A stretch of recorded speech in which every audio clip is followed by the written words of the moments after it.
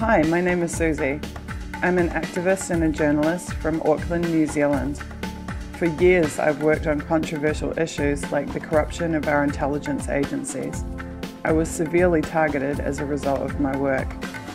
This led to my articles being amplified by the world's most accomplished publisher.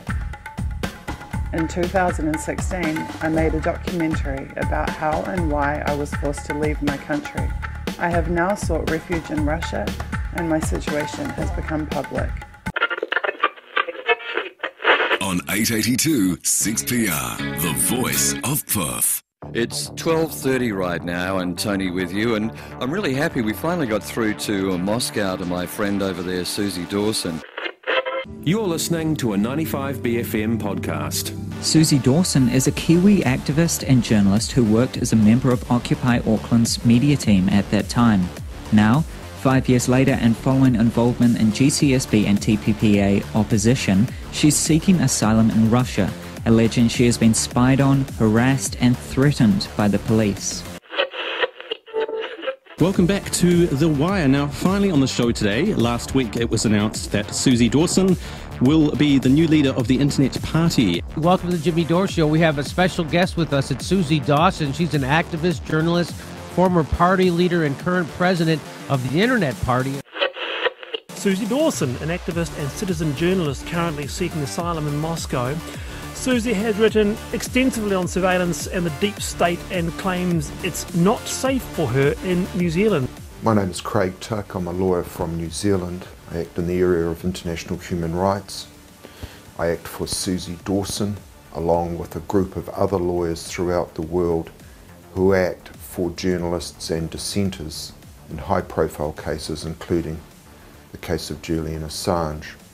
As far back as 2012, Suzie has been trying to warn New Zealanders and other citizens around the world about state targeting and surveillance of citizens and the methods being used to do it.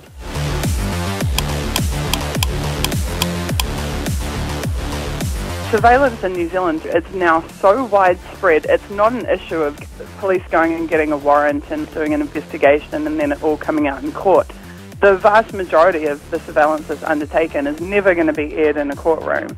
And by that I'm talking about cell phone technologies, I'm talking about lawful interception is the term that the companies that do this like to use. There is a corporation in Wellington, New Zealand called SSI Corp. And you can Google them and you can look at their website. And on their website, they're so good as to explain at length exactly what they do and, and how legal it is for them to do it. And essentially, they can intercept virtually any communication. If they have someone at range, they can hear your actual conversations, but also through cell phones, they can essentially turn them into microphones and hear any conversation that's had within vicinity. They can see your text messages, they can see what photos are on your phone, they can see what files are on your phone, they can read your emails, they can just intercept all kinds of information. Any intelligence service in the world that has significant funding and a real technological research team can own that phone the minute it connects to their network. As soon as you turn it on, it can be theirs. They can turn it into a microphone, they can take pictures from it, they can take the data off of it. But it's important to understand that these things are typically done on a targeted basis. Not only was Suzie essentially blowing a whistle on state level spying, she was naming the precise entities that years later it would be proven had in fact been doing it. And the fact that these are private corporations that are doing it should be really concerning to us.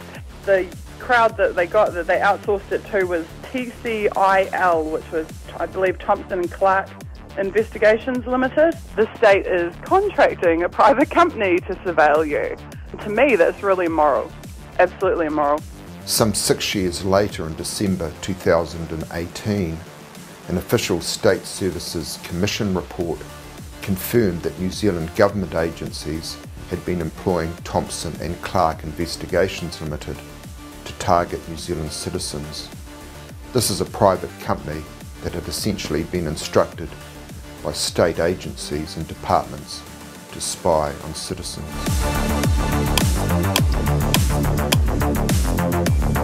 More than a dozen police staff are under investigation for passing sensitive information to the private investigators Thompson and Clark. Thompson and Clark. Security firm Thompson and Clark. Thompson and Clark. Uh, Thompson and Clark. So Thompson and Clark, aren't they? Aren't some of them old police officers? Ah, uh, yes, they are. Okay, so does that explain the relationship and the free flow of information? Doesn't it actually seem a bit crass? Um, well, at the end of the day, I guess um, what I trust is people's intent. The report identifies perhaps inappropriately close relationships, morning teas paid for by um, Thompson and Clark, invitations to go out for drinks. Were there other companies oh. identified where you inappropriately gave them information or just Thompson and Clark?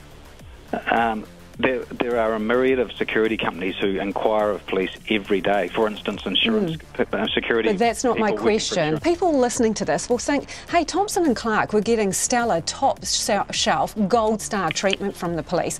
Why? Do you treat other security firms the same as you were treating this one? Yeah. How do you seriously think it looks to, to members of the public listening to this?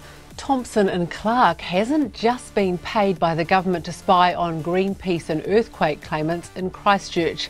Tonight, Checkpoint can reveal the controversial security firm has been also monitoring the activities of another three activist groups in Northland, Coromandel, and Wellington, and the activities of at least one further claimant.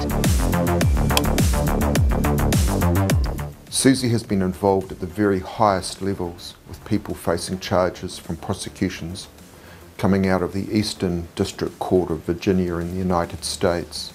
There are more prosecutions to follow of currently unnamed persons. Importantly, information will be coming out in the months to come that will provide transparency and clarity and lead to accountability.